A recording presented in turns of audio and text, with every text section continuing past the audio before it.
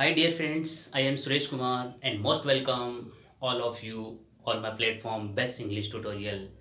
जैसा कि आपको स्क्रीन के सामने दिखाई दे रहा है आज हम पढ़ने जा रहे हैं मैजिक ट्रांसलेशन स्टूडेंट के लिए सबसे बड़ी समस्या जो प्रॉब्लम्स है वो है बेटा ट्रांसलेशन तो देखिए हम आपको एक मैजिक फॉर्मूला मैजिक फॉर्मूला के माध्यम से आज बड़े से बड़े सेंटेंस का ट्रांसलेशन हम आपको बताने जा रहे हैं। देखिए बेटा, आपके सामने बहुत सारे वर्ड लिखे हुए हैं। उन सभी वर्ड्स को एक बार आप अपने माइंड में सोचिए, विचार कीजिए कि जो ट्रांसलेशन हम जो बनाते हैं, वो इन्हीं सेंटेंस के ऊपर टोटल जो वर्ड मैंने दिया है, इन्हीं के मीन से डिपेंड करता है। देखिए बेटा, यहाँ से आपके सामने एक फॉर्मेट मैंने रखा है। सबसे पहले जब भी आपको किसी सेंटेंस का ट्रांसलेशन बनाना हो तो डियर स्टूडेंट्स यहाँ पर आप उस सेंटेंस में हु कौन हु कौन, कि यहाँ पर जो सब्जेक्ट है, काम करने वाला है डूअर है, कौन है, उस कौन को निकालो। फिर उसके बाद में यहाँ से आपको लिखना है, बेटा बनने वाला टेंस लिखना है।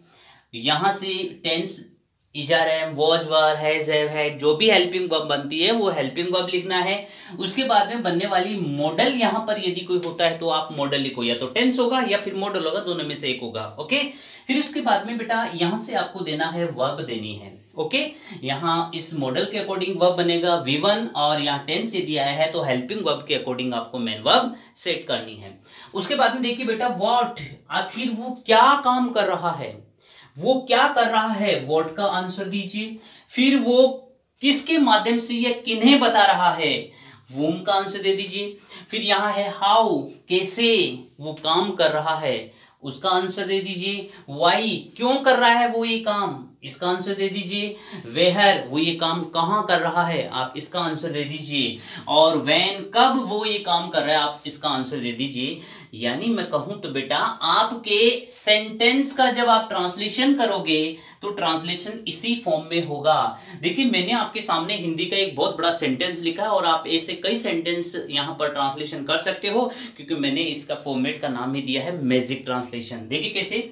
एक वृद्ध औरत पिछले पाँच वर्षों से जयपुर के मानसरोवर में एक छोटी सी दुकान के अंदर अपनी जीविका चलाने के लिए बिना किसी पब्लिसिटी के आसपास के लोगों को अंग्रेज़ी सिखा रही है। ऐसा मैंने आपको एक सेंटेंस दिया और मैंने कहा, आपको इसका ट्रांसलेशन करना है इनटू इंग्लिश में। आपको इसका इंग्लिश ट्रांसलेशन बनाना है। तो देखिए बेटा, आपके सामने एक फॉर्मूला है। उस फॉर्मूले के माध्यम से हम लोग इंग्लिश ट्रांसलेशन इसका बनाएँगे। ओके तो सीधे बैठ जाइए आप सभी और देखिए, जो यहाँ ट्रांसलेशन बनता है, वो ठीक है या नहीं? देखिए बेटा, यहाँ से सबसे पहले कौन कौन सिखा रही है?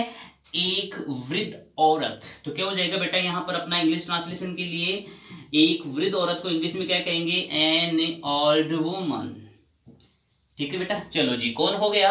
फिर उसके बाद में टेंस दीजिए। मॉडल तो नहीं है यहाँ पर, क्योंकि देखिए बेटा से रहा है, से रही है। से रहा है, से रही है। आपको मैंने लेटेस्ट टेंस बताया प्रेजेंट परफेक्ट कंटिन्यूस तो यहाँ पर क्या जाएगा? यहाँ पर ओल्ड मैन सिंग ये ओल्ड वोमेन सिंगुलर है तो क्या जाएगा बेटा? Has been okay? फिर उसके बाद में मेन वर्ब दे दीजिए। मेन वर्ब क्या हो जाएगा? वर्ब के साथ में यहाँ पर आईएनजी लगाना है तो क्या बन जाएगा बेटा? टीचिंग ठीक है? तो क्या हो गया? An old woman has been teaching ये हु का आंसर दे दिया? टेंस और मॉडल आपने यूज़ कर लिया। वर्ब आपने यूज़ कर ली। क्या सिखा रहा क्या सिखा रही है बेटा? An old woman has been teaching क्या सिखा रही है बेटा? इंग्लिश क्या सिखा रही है? इंग्लिश बोलिए बेटा वोट का आंसर भी आ गया? देखिए बेटा वोट का आंसर भी आ गया। कोई दिक्कत नहीं है किसी भी स्टूडेंट को इसमें। बिल्कुल। चलो देखिए बेटा, उसके बाद में यहाँ से अपन बात करते हैं W H O M whom किदे सिखा रही है। ठीक है कि नहीं? तो क्या लिखा आपने? To the people P E O P L E people of nearby place देखिए, किनको यानी किनको? आसपास के लोगों को। किनको सिखाया जा रहा है बेटा यहाँ पर? आसपास के लोगों को। तो क्या लिखा मैंने? To the people of nearby place आसपास के जितने भी स्थान है, उन पर रहने वाले जितने भी लोग हैं, उन लोगों को यहाँ पर इंग्लिश सिखाई जा रही है। ठीक है बेटा? तो देखिए बेटा हु का आंसर मिल गया। और उसके बाद में आपने टेंस मॉडल यूज़ कर लिया। वर्क कर ली। वॉट क्या का मीन दे दिया? डब्ल्यू एच ओ किसे आप दे दिया? किसे बेटा? To the people of nearby places अब उसके बाद में देखिए बेटा, आपके सामने यहाँ पर दिया हुआ है हाउ क्या दिया हुआ है? हाउ कैसे? तो देखिए बेटा, कैसे की बात करते हैं तो यहाँ पर देखिए बेटा, बिना किसी पब्लिसिटी के तो क्या हो जाएगा बेटा यहाँ पर? Without any publicity without any publicity बिना किसी पब्लिसिटी के। तो देखिए बेटा किन को कैसे और क्यों? अब देखिए, यहाँ तक क्लियर हो गया। वाई कैसे सिखाया जा रहा है बेटा? विदाउट एनी पब्लिसिटी के, यानी कि अपन कहें बेटा, या बिना किसी पब्लिसिटी के इंग्लिश जो है, पढ़ाई जा रही है, सिखाई जा रही है। सॉरी बेटा, क्यों सिखाई जा रही है बेटा? क्यों सिखाई जा रही है? अब देखिए, क्यों का आंसर देखिए। क्यों का आंसर मिलेगा? अपनी जीविका चलाने के लिए। तो क्या हो जाएगा? यहाँ से अपन इसकी इंग्लिश बनाएँगे तो यहाँ से लिखो बेटा फॉर शायद नीचे दिखाई नहीं देगा। एक लाइन तो दिख जाएगा।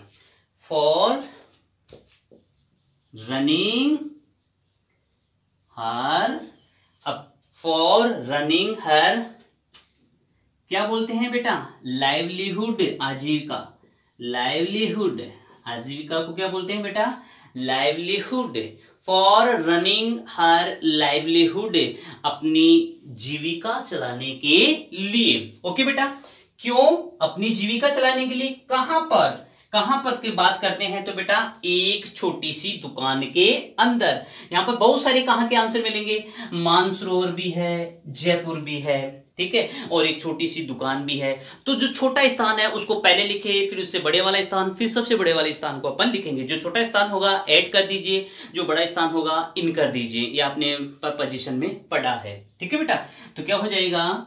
Inside inside a small shop inside a small shop एक छोटी सी दुकान के अंदर। अब देखिए बेटा, छोटा स्थान होता है एट का यूज़ कर दो, ठीक है कि नहीं? अब देखिए, छोटा स्थान एट यहाँ से आपको लिखना है, नीचे आपको दिखाई दे जाएगा, नहीं देगा।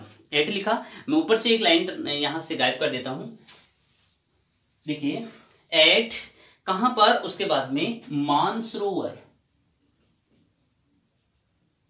मानसरोवर। ठीक है बेटा? अब देखिए मानसरोवर कहाँ है बेटा?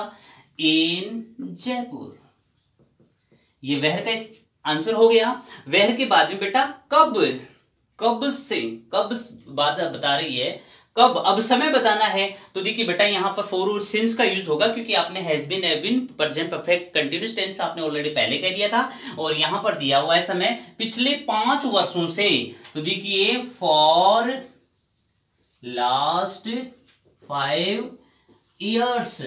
Okay? तो चलो देखिए, आपके सामने यहाँ पर इंग्लिश ट्रांसलेशन बन गया। और देखिए बेटा ट्रांसलेशन इतना बेहतरीन बना है कि किसी भी प्रकार का इरर इस सेंटेंस में आपके नहीं बनता। एक बार वापस से देख लीजिए, जब भी आपको किसी सेंटेंस का बेटा ट्रांसलेशन करना होता है तो आप इस फॉर्मेट को अपना लीजिए, बड़े से बड़े सेंटेंस को आप लोग इंग्लिश ट्रांसलेशन कर दोगे। इसको मैंने मैजिक फॉर्मूला कहा है। इसलिए आप सभी स्टूडेंट इसके ऊपर डिस्कस करना ट्राई करना। क्या लिखा हुआ है? सबसे पहले अपन बात करें हु कौन? कौन सिखा रहा है। फिर उसके बाद में आप लोग यहाँ पर टेंस दे दीजिए मॉडल दे दीजिए वर्ब दे दीजिए, क्या सिखाया जा रहा है वो बना दीजिए, किसे सिखाया जा रहा है वो बना दीजिए, कैसे सिखाया जा रहा है वो लिख दीजिए, क्यों सिखाया जा रहा है वो लिख दीजिए वह कहाँ पर सिखाया जा रहा है वो लिख दीजिए, और कब सिखाया जा रहा है वो लिख दीजिए, आपका इंग्लिश एकदम परफेक्ट होगा। ठीक है? हम फिर से आप कल एक, फिर से एक नए टॉपिक लेकर के आपके सामने उपस्थित होंगे प्रेजेंट होंगे। आज के लिए थैंक यू जय हिंद, जय भारत। ओके बेटा? जय हिंद।